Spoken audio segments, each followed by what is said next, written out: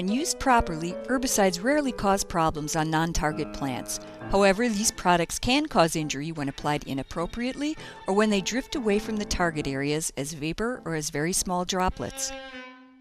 Many plants are sensitive to phenoxy and benzoic herbicides. These act as plant growth regulators. Phenoxy herbicides include 2,4-D and benzoic herbicides include dicamba. These are widely used on lawns, turf, and roadsides. Many formulations of these chemicals can move as vapor from the site of application in concentrations high enough to damage sensitive plants.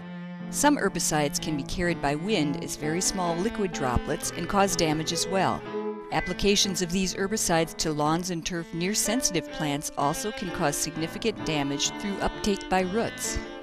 Grapes, tomatoes, and redbud trees are among the most common plants that are extremely sensitive to 2,4-D and dicamba, but many other broadleaf plants, such as walnuts and box elder trees, have been known to suffer from severe damage as well. The majority of injury problems occur on sensitive vegetation right next to application sites. The risk of injury decreases as the distance between the application site and sensitive vegetation increases.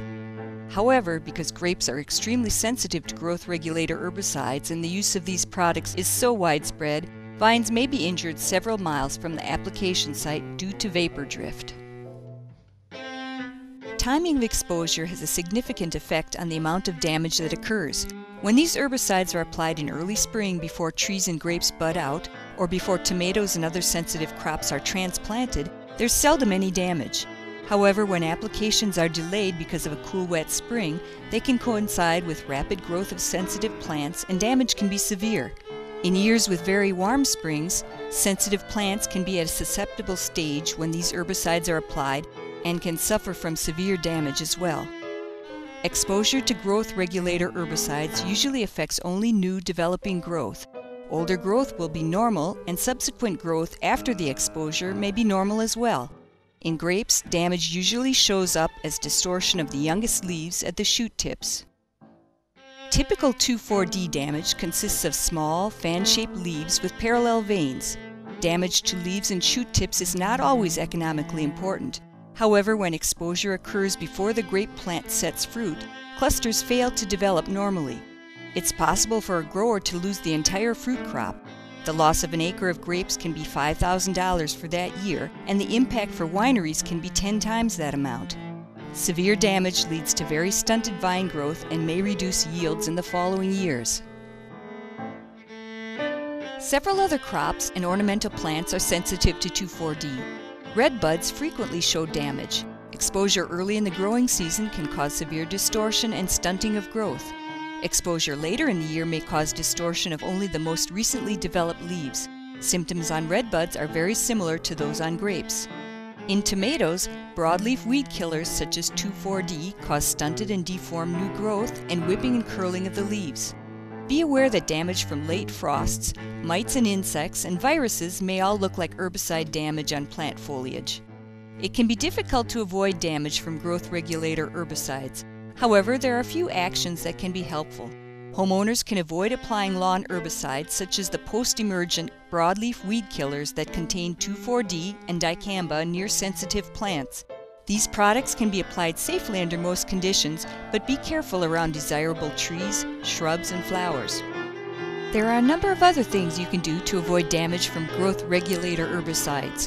Do not apply insecticides or fungicides with a sprayer that has been used for weed killers, it's very difficult to remove all residue from a sprayer contaminated with 2,4-D.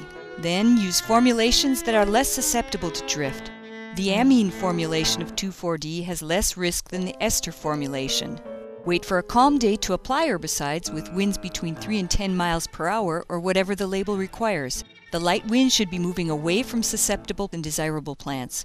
The label has important information regarding application requirements to reduce risk to people and the environment.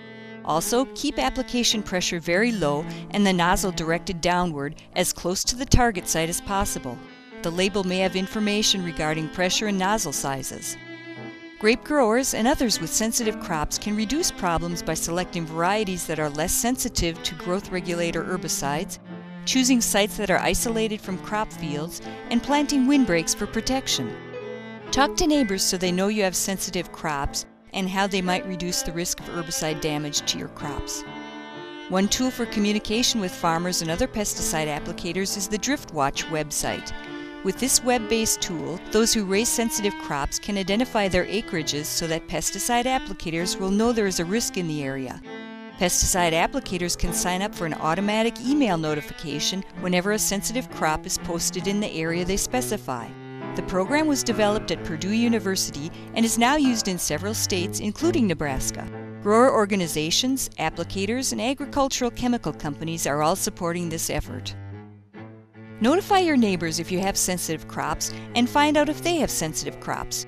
Be careful about your own herbicide applications to reduce the risk of damage to plants on your own or neighboring property.